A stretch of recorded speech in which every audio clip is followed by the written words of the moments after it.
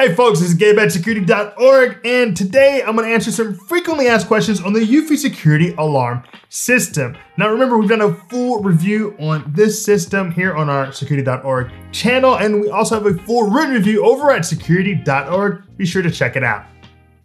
Now our first question is, is there a monthly fee with the Eufy security alarm system? And no, there is no monthly fee because ultimately Eufy security alarm system is a self-monitoring system and it does not have any professional monitoring coming along with it. So it's a one-time purchase, uh, you buy it and from then on you're gonna be self-monitoring, no monthly fee.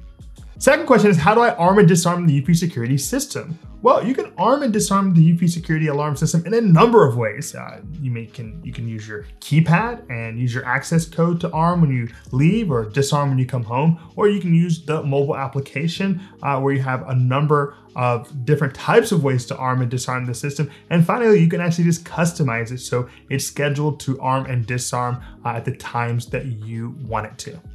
Third question is, will my dog set off the Eufy motion sensor? And generally, no. Uh, for example, my dog is 45 pounds and she does not set off the Eufy sensor because of where I have placed it and the motion sensitivity that I employ with that motion sensor.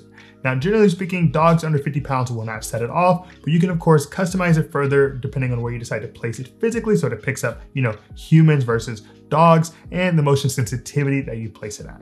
Finally, will this system work with other Eufy devices?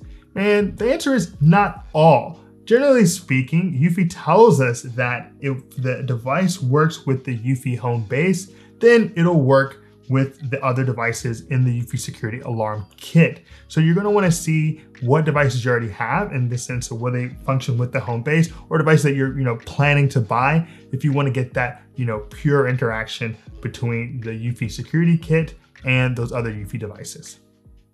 All right, thanks. You've reached the end of our look at the most frequently asked questions on the Eufy security alarm system. Now, if you appreciated today's video, give us a like, drop us a comment, or maybe even subscribe to our channel, security.org. We're dropping the newest and freshest content when it comes to digital and home security reviews, guides, tips, you name it. Now, if you want to see all the relevant links, they can be found in the description below. As always, my name is Gabe. This is security.org. Be secure.